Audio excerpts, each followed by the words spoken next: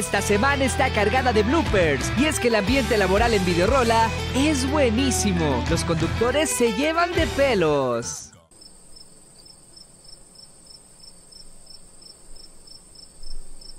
En el estudio llegó el nene Torres y las cosas se tornaron color de rosa.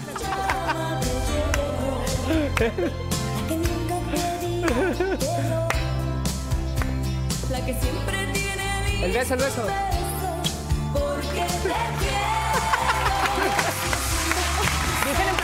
A mi Luzma se le pierden las cámaras y hasta le da la espalda a los videoroleros. Suavemente, esa canción que bueno fue muy famosa y obviamente pues estuvimos cantándole y bailando y ahora pues Bad Bunny hace una referencia. Sí, me- ¿sabes qué? Te Mejor sí, sí dime uno, dos, tres, pero espérame, sí.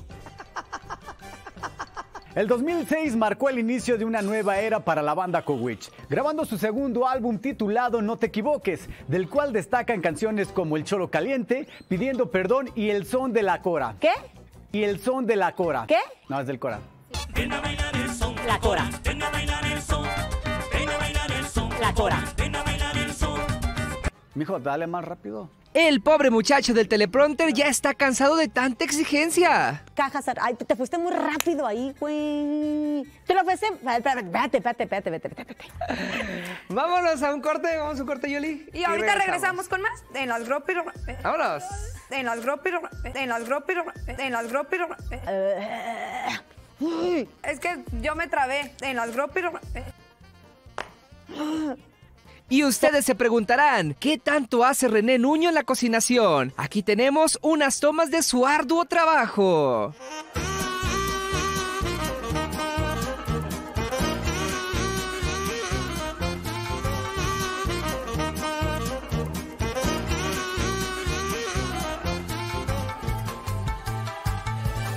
Escalando dos posiciones, colocándose en el lugar número 4 otra vez. Es que, ¿sabes qué? Ahí me atora porque es como que, como que el punto, cuando dices punto y luego yo ya voy en el punto, en el caja San Rafael, punto, y luego tú me dices punto y yo me como que me. ah. ¿Qué es eso?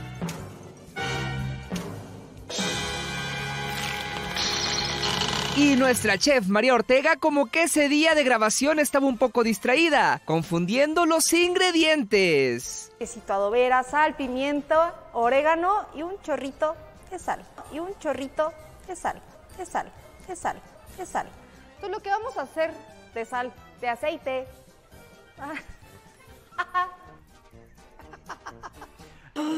Mientras tanto, René Nuño.